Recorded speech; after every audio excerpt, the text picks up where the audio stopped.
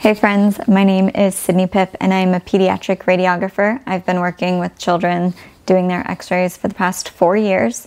And I'm here to tell you a little bit about pediatric chest x-rays today. So we do chest x-rays either standing up or laying down based on the age of the patient slash the maturity level and how sick they may be. I have some video footage of me pretending to take a chest x-ray on my son who is six years old at the time. I will keep this area open to try to fit that footage in while I'm speaking about it so that we can discuss side by side all of the steps that I'm taking to take a chest x-ray of a patient who is able to stand up at the upright bucky. Once we discuss patients who are able to stand for their chest x-rays, we will move on to patients who are unable to do so. So I'm talking about babies and kids under the age of three. I will also insert footage of a baby doll that I have. The steps that I will be going over are what I do personally, and they work really well for me. There are radiographers that I work with who choose to do things differently, and once you are working in the field, you will get a feel for what you like and what works well for you. So you do you. So let's dive in to standing x-rays.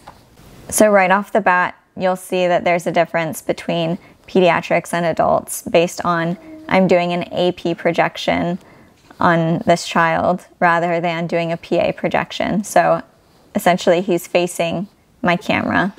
We do this because it's more comfortable for the patient.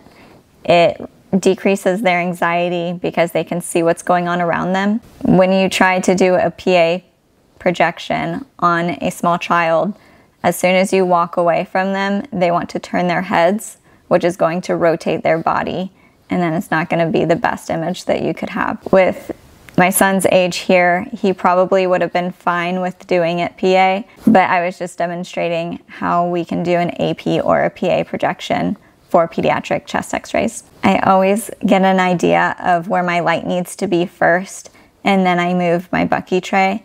That way there's less going back and forth between messing with the light and the bucky, light and bucky. Once I'm kind of set up to where I need to be, that is when I move my patient to the position that they need to be in.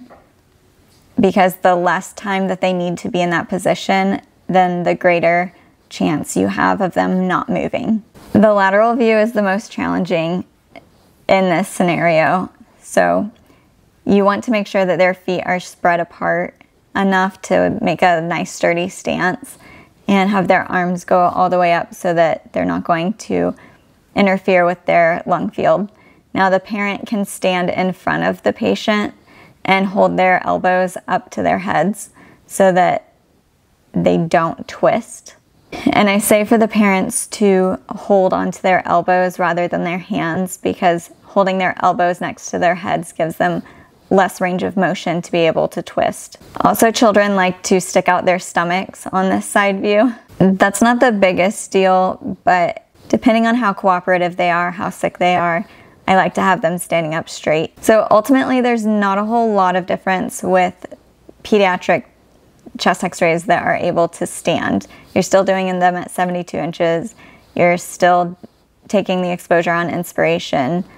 Um, nothing's too crazy. Now, for younger children under the age of three, typically you'll be laying them down. Sometimes when I have a mature two year old or an older two year old, I like to try to stand them for their chest x rays or their upright abdomens first because they fuss a lot less whenever they are standing up. As soon as you lay a two year old down, they're going to cry and fight and they are strong. So I try to stand them up if they're able to, but if they're going to be too wiggly and it could cause a repeat exposure, then I will lay them down. When you lay a patient down, you need to think of who's going to be holding that patient. Now, you'll need at least one person to hold their arms and possibly a second person to hold their legs unless you have what's called a papoose board. The papoose board is a plexiglass board with some holes in it to hold on to some straps. And it's not really comfortable, but it's also not hurting them. If you have been to school through x-ray and you know about a Pigg-O-Stat, we don't use those in my hospital, probably because it looks like you're harming the child and parents don't enjoy seeing their child in that position. Once you lay the baby down, I like to put the straps of the blanket over one leg and then under the other, kind of swaddling the baby's legs in before you put the strap across their legs.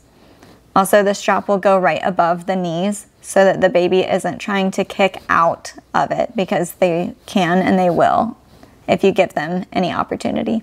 Once the baby's legs are secure, the person who will be holding the baby's arms will go over to the head of the table and they'll take their the baby's elbows and bring them all the way up to their ears to hold them tight. If the individual that is holding the baby's arms tries to hold their hands, the baby will use their strength in their arms to pull themselves up out of their leg restraints. So we don't want to do that. We want to hold by the elbows all the way up by the ears. There are two common ways to get a lateral image on an infant. The way that I use most often is to do a cross table lateral with a horizontal beam. So instead of moving the patient's position, I move the tube and the image receptor. Not only is that easier for the parent to hold the baby without having them rotated, but it's also more comfortable for the infant. The parent will be in the same position using their hands to hold on to the baby's elbows all the way up by their head. If the baby's small, it's common for the parents to have their fingers in the light field. So pay attention to where the holder's hands are so that they are not going to show up on your image in the baby's lung field. The other way to get a lateral image is by flipping the patient onto their left side. It was hard for me to capture a good image of what this looks like because I didn't have a tripod and I was only one person. So even just getting some footage of this method was challenging. You can only imagine a screaming child, a stressed out parent, and this position that's just more challenging than what it needs to be. So going from an AP position where one holder has the patient's arms all the way up by their ears, the other holder has the baby's legs, you'll roll them up onto their left side all at the same time. It's common for the baby in this position to throw their head back as they're crying. As far as positioning, make sure that their hips are stacked on top of each other, that their hips aren't rotated, and that will cause a rotation in the bases of the lungs. If you're quick and you don't mind a baby crying, or if you need to do an image portable, then this is a great option. For people who are starting out, or for people who don't mind taking a little extra time on their x rays, then I definitely do the cross table horizontal lateral as often as I can. A few extra things that I have to say about chest x-rays on pediatric patients are that young kids aren't going to follow breathing instructions. So patients under the age of four, maybe a, an older three-year-old will be able to follow breathing instructions, but less than that, you will have to time their breathing. Going along with that, new parents or parents of infants, even if it's not their first one, they are often stressed out because their baby is sick and they would like answers on why that is or how to treat them. And hearing their baby cry makes them incredibly anxious. So before bringing them into my room, where I know that I'm going to make them cry, because they are going to be put in a position where they don't like it. I always warn the parent that it's okay when the baby cries. That tells me when I can take my picture, and it also ensures that their lungs are full of air so that we get a nice picture. We don't want to take a picture that is not going to be pretty. It's worth it to wait and to time it out properly. Don't just expose because the baby's crying and you want to get it over with. So I think that's all that I have for today. If you learned something, please like this video. And I enjoy seeing my subscriber count grow and people who are interested in radiology. If you have any specific questions of things that you would like for me to go over, please leave them down below. Thank you guys for hanging out with me and I will see you in the next one. Have a great day and stay safe. Bye.